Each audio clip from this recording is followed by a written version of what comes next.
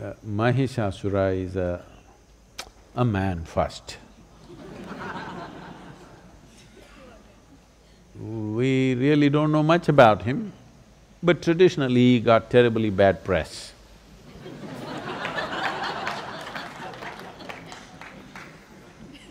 so he was supposed to be bad. And Devi is killed him. And his vehicle, poor guy, maybe he couldn't afford a horse, so you used a buffalo.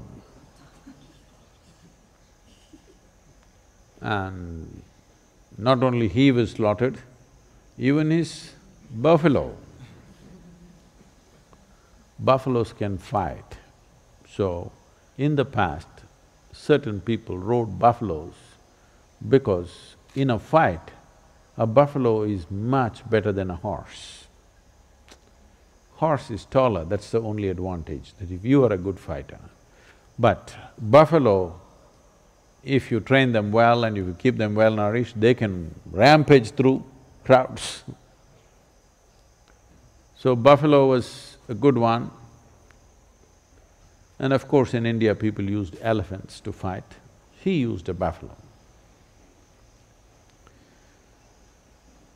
This is… Uh, this imagery has continued just to indicate that the bestiality in a man, the beastly nature, the animal nature in a man, because you didn't drop from heaven as some people believe, you evolved. The qualities of an amoeba, an earthworm, a grasshopper, a buffalo, every kind of beast that evolution went through, elements of those qualities are still with you. Yes, sir, you know. They're still with you.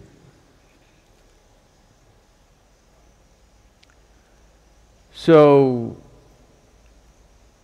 these are all compulsive tendencies. Even modern neurology recognizes that one part of your brain is that of a reptile. There's a reptilian brain which is approximately the size of your fist.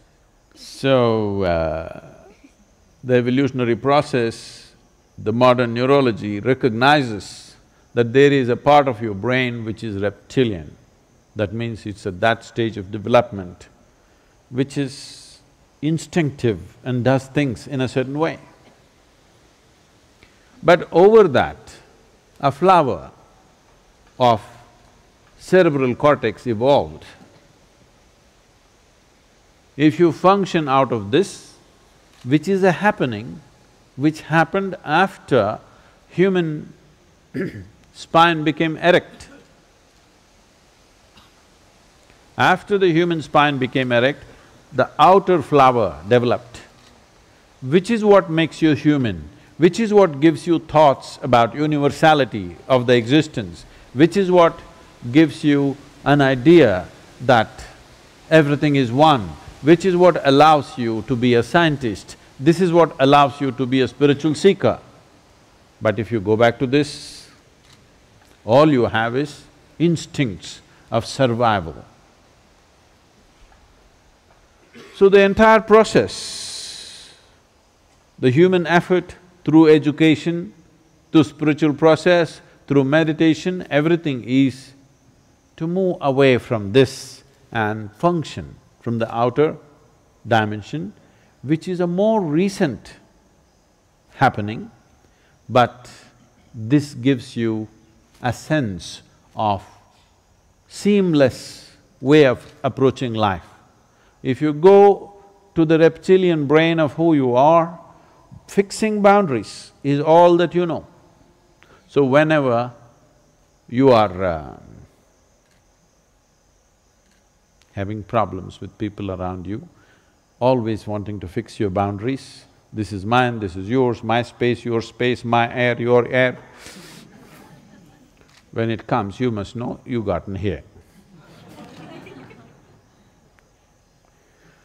Now the spiritual process, the yogic dimension is looking at how to make this, because if you function only from one aspect of your brain, it'll work, but not enough, you're not using all of it.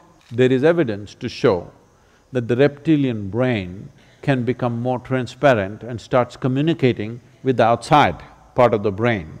There are experiments, there are studies which show that with certain practices of meditativeness, reptilian brain, which is always about fixing boundaries, will begin to communicate with the outer part of the cerebral cortex and it function as one brain. So I don't know if you… Uh,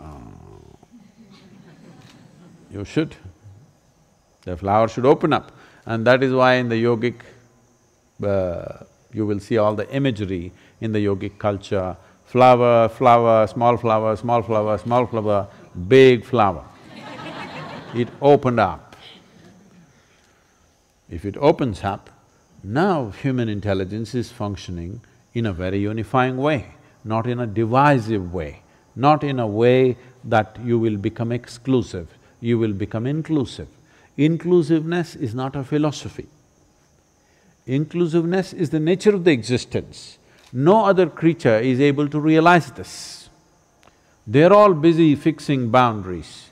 The dog is peeing all over the place, not because of urinary problems, but he's establishing a kingdom, pee kingdom of course. Human beings are not any different. They're doing the same things in a different way. This is mine, that is mine, that is mine, that is mine. Fixing a kingdom, when it's possible, push it a little bit.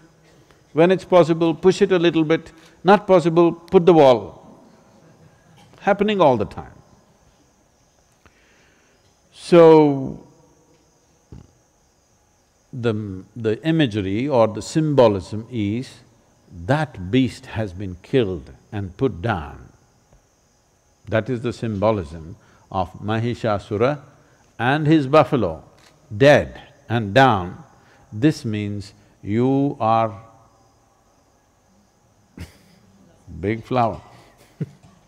The symbolism is also this, that when masculine exists by its own nature, it naturally lives instinctively. That means this. Only when feminine enters, it can become little open.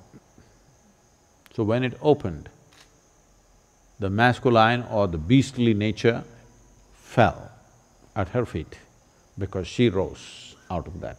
So the symbolism in the Devi temple is just that. Because she rose in full power, this bestiality is down there.